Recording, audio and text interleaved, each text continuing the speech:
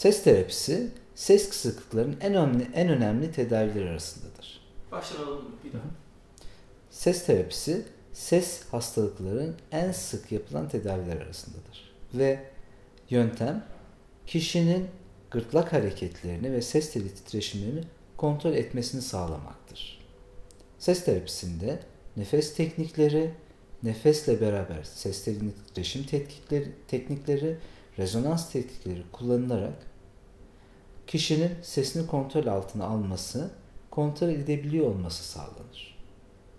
Bazen 2 seans, bazen 1 seans, genellikle ortalama 6 ile 8 seans süren egzersizlerdir. Her bir seans 40 ile 50 dakika arasında yapılır ve bir terapistle çalışılır.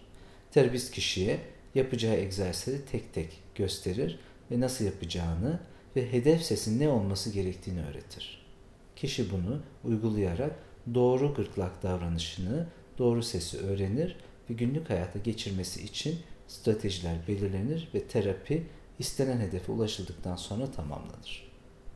Bazı ses hastalıklarında terapi 1-2 seansla biterken bazı hastalıklarda yıllarca ses terapisinin sürdüğü durumlarda vardır.